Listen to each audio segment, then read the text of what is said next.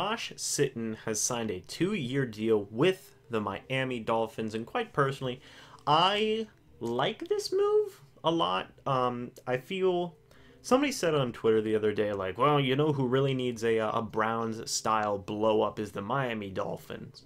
Um, you know, they just need to, you know, just strip down everything and start fresh. And I don't necessarily agree with that.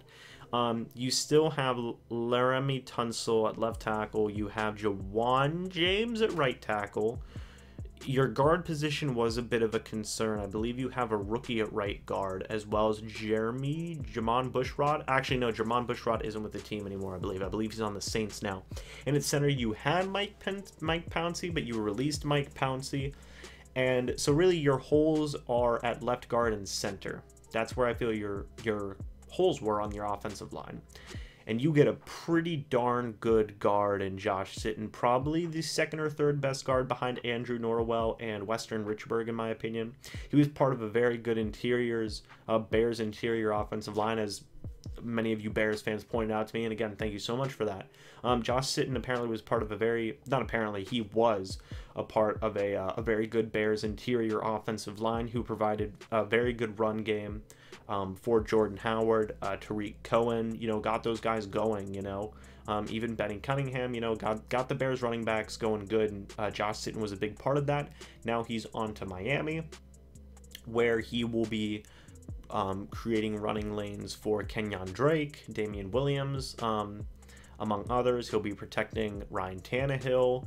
Um, and I think it was a very good move. Obviously, Josh Sitton is up there in age, but linemen are usually pretty reliable in terms of injuries. You know, you don't really see linemen getting injured that often, um, especially like the veteran type guys. They always usually seem to find a way to stay on the field. So I really like this move. It'll be interesting to see the running back competition between Damien Williams and Kenyon Drake. I honestly couldn't tell you who would win. I think both backs are very versatile and very good runners. If I had to give an edge, I guess I would give it to Kenyon Drake, but personally, I like Damien Williams a little bit more. Um, Damien Williams might be a little bit injury prone, but um, I just like the guy. I honestly, I like both of them a lot, but um, I would give the edge to Kenyon Drake right now. So if you're moving forward with Kenyon Drake, I don't mind that running game at all, especially with Josh Sitton now. That's going to be very huge, getting that running game going. If you can get the running game going, you can get the passing game going as well.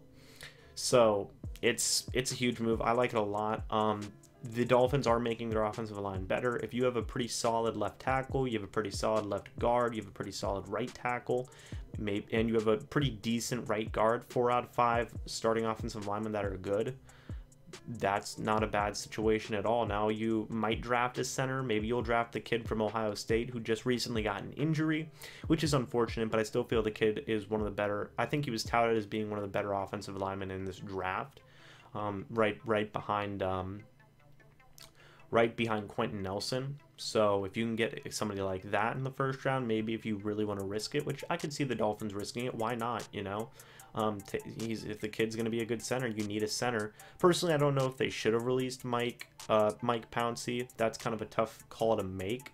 Um, but they could bring in another center. You know, who knows? But I like this move again. I think it's going to create good opportunities for Kenyon Drake, which will also create good opportunities for Ryan Tannehill in the passing game as well. Um, as they have DeVante Parker, they have Kenny Stills, among others.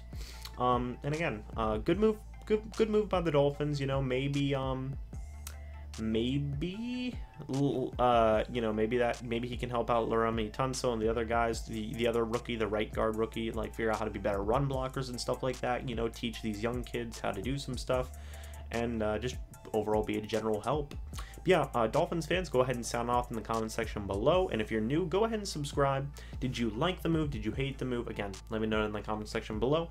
And for fans of other NFL teams, I'm going to be trying covering all of the moves, all the major moves that your teams make throughout uh, this free agency period.